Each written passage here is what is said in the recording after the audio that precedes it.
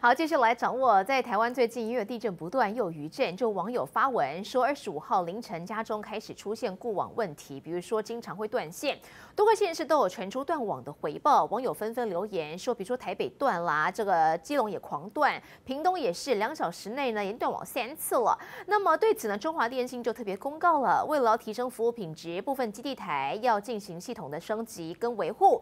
二十四、二十五号，像是苗栗、台中、南投、彰化、高。高雄、屏东、台东跟澎湖都会进行一些维修的服务，附近的基地台是可以提供服务的，但是有一些断网的灾情，可能还是会。陆续不断的发生了。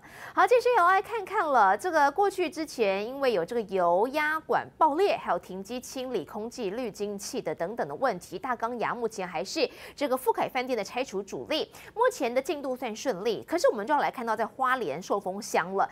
这个巨型药师佛如来来石像呢，是从脖子直接断头。那庙方人员认为说是菩萨承受了众人业力。可是现在有个问题了，受风伤的乡长在地震过后还是要到。日本去考察，让很多民众认为相当不妥。倾斜的花莲富凯饭店仍然如火如荼拆除中。二十五日下午一点多，怪手先退开，派出大钢剪重新进场恢复拆除作业，但过程中粉尘不断，大钢剪一度停摆了作业。怪手在运行当中的时候会有大量的粉尘，那所以它的空气滤芯都会堵住。那需要定期的清理。不过经过清理后，大钢剪继续运行，预计今晚会将污涂拆除，力平两周内要拆除完毕。而花莲余震不断，我们也独家直击到花莲寿丰河南寺的药师佛雕像头部，也不敌四二三地震影响，竟然被震到断头了，里头多处建筑也都震到毁损。出于安全，河南寺在二十五日起暂时封山。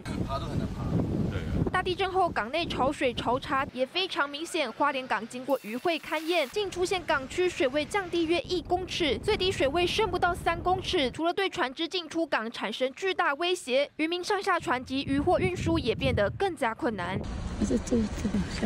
灾。后走访寿丰乡，只见地面出现严重龟裂，地基位移严重，房屋水泥墙震到喷出碎裂，居民求助无门。据传出，寿丰乡乡长在日本行程八天，让村民痛批上次的地。震灾害还没处理好，怎么会选择出国？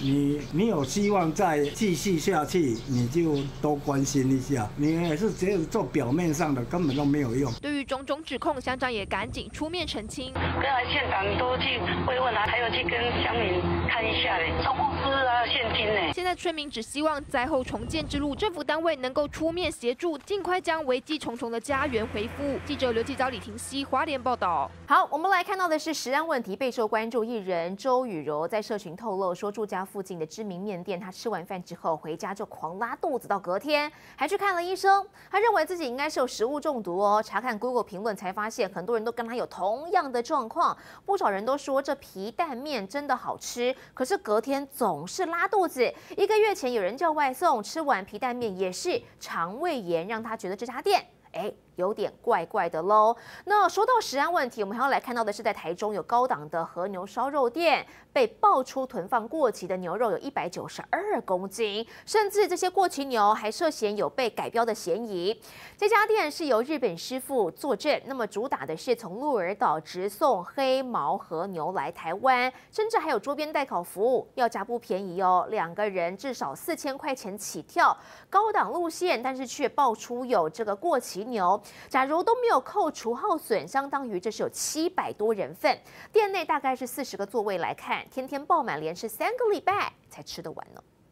台中奇美商圈这家高档烧肉店竟然被查出囤放过期肉破百公斤，还涉嫌篡改有效日期。店家主打用鹿儿岛直送黑毛和牛，还有日本师傅坐镇专人代烤，双人套餐四千元起跳，走高价路线。开幕不到一年，被查到十六项过期肉品，共一百九十二公斤，几乎是半头牛重量。如果不算耗损，可供七百多人食用。以全区约四十个座位计算，必须连续三周。天天爆满才消化得完这些肉。烧肉店在抓一个人的吃肉的量，大概是两百至两百五十克。这已经是台中两周内第二间和牛烧肉店爆出过期肉品，吃下肚恐危害健康。金黄葡萄球菌、大肠杆菌或者是沙门氏菌。最厉害甚至可能引起败血症。多亏两名吹哨者检举，烧肉店遭勒令停业，开罚一百九十二万元，负责人与肉品商则被依三十万元以及五万元交保。涉犯贩卖妨害卫生物品、加重诈欺。及伪造文书。起底送信负责人事业做很大，除了烧肉店，还在附近五十公尺处准备开和牛拉面店。开和牛拉面，老板是台湾人吧？还有一台蓝色保时捷。民众掏荷包吃好料，店家却囤一堆过期肉，叫消费者怎么能接受？记者黄祥、富旺山台中采访报道。